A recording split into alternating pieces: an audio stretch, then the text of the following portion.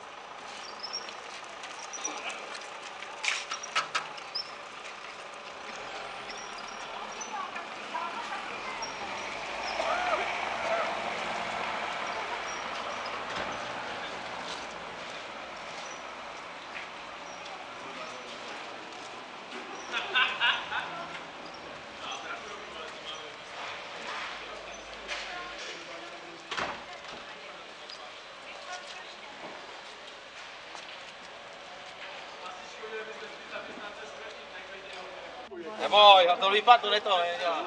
Tak, Alda, počkej, klej, nej dopředu, nej dopředu, pořádně. Ne, dolů, no, takhle, dobrý, tak, stačí. Na žáb. Není tam chvál, aby vás nežalo. Dobrý, dobrý. Pustat.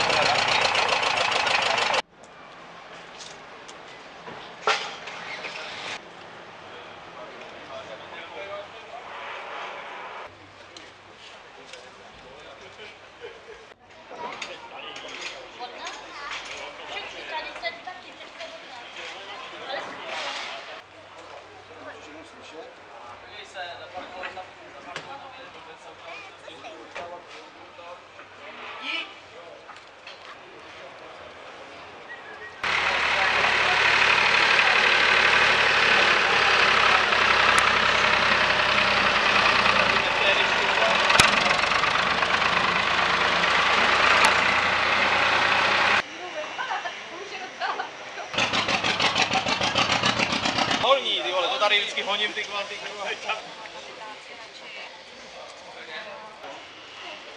Já mám